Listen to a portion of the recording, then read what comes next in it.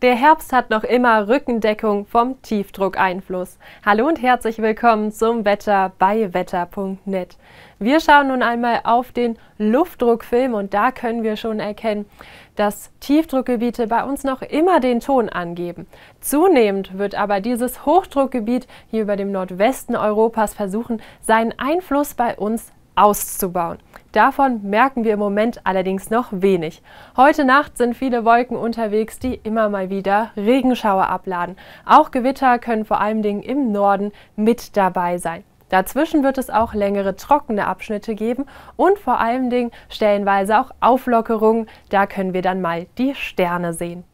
Im Süden, in den Alpen, da kommen dann tatsächlich auch Schneeflocken auf uns zu, allerdings erst ab 1600 bis 1400 Metern.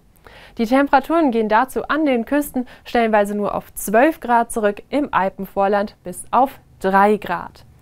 Morgen, da müssen wir uns erneut auf reichlich Schauer einstellen und auch hier können Blitz und Donner nochmal mit dabei sein. Schneeflocken auch wieder in den Alpen.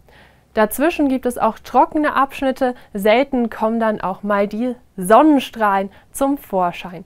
Die Temperaturen erreichen dazu im Alpenvorland 7 Grad, verbreitet erwärmt es sich auf 11 bis 18 Grad. Auch am Sonntag, da lohnt es sich, stellenweise schon die dicke Jacke aus dem Schrank zu nehmen, denn besonders in den östlichen Mittelgebirgen wird es frisch bleiben, hier teilweise maximal nur 8 Grad. Verbreitet werden die Werte dann zwischen 11 und 16 Grad erreichen. Dazu sind erneut einige Regenschauer unterwegs, auch wieder Gewittergefahr mit dabei. Und teilweise gehen die Schauer vor allem in der Mitte des Landes auch in anhaltenden Regen über.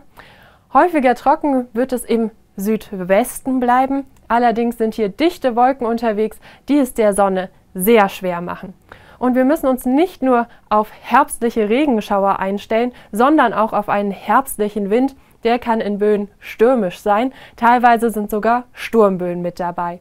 Am Montag, auch da geht es häufig grau weiter, erneut mit Regenschauern vor allem im Norden, aber auch im Osten. Da können dann auch Gewitter mit dabei sein, sonst auch längere Zeit mal trocken und vor allem im Südwesten, da bekommt die Sonne auch die ein oder andere Chance. Und das bei Temperaturen zwischen 11 und 18 Grad. Am Dienstag, da geht es dann mit Werten zwischen 10 und 18 Grad weiter und dazu hat die Sonne immer bessere Karten. Da kann sie sich vor allem im Westen immer mal wieder behaupten, allerdings sind auch hier gebietsweise dichte Wolken unterwegs, die es der Sonne ganz schön schwer machen werden.